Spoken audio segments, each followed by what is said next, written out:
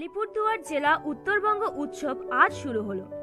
এই উপলক্ষে এক বর্ণাঢ্য শোভাযাত্রা বের হয় এবং শোভাযাত্রা শেষে আলিপুরদুয়ার রবীন্দ্র মঞ্চে অনুষ্ঠান আয়োজিত হয়।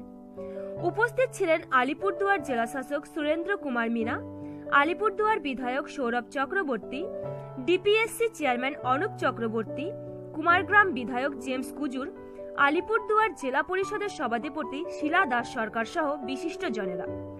এদিন মঞ্চের থেকে মেধাবী ছাত্রছাত্রীদের সম্বর্ধনা প্রদান করা হয় ও আর্থিক সহযোগিতা প্রদান করা হয়।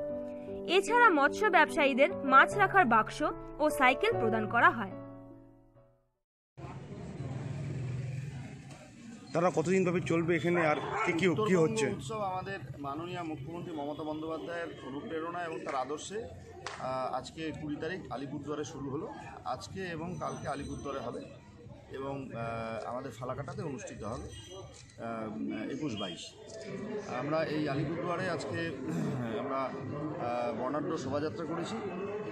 বিভিন্ন স্কিমে ছাত্রছাত্রীদের হাতে সম্বর্ধনা এবং পুরস্কার তুলে দেওয়া হয়েছে, আর্থিক সহযোগিতা হয়েছে।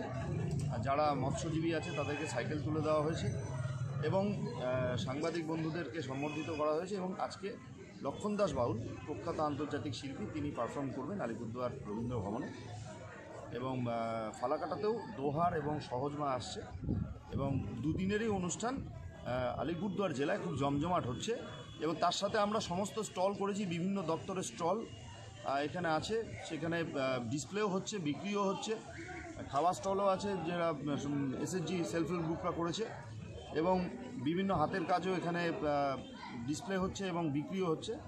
তার সাথে সাথে যারা আমাদের বিভিন্ন ওয়ার্ডের জনসংযোগ যাত্রা যেটা, সেই জনসংযোগ যাত্রারও একটা ভেন্যু এখানে করা হয়েছে, যার মাধ্যমে সামাজিক সুরক্ষা প্রকল্পের ফর্ম ফিল আপ ইত্যাদিও কাজ একবারে হচ্ছে। সব কিছুর মধ্যে উত্তরবঙ্গ উৎসব একটা আলাদা বৈচিত্র্য এবং আলাদা মাত্রা এবার পেয়েছে আলিপুর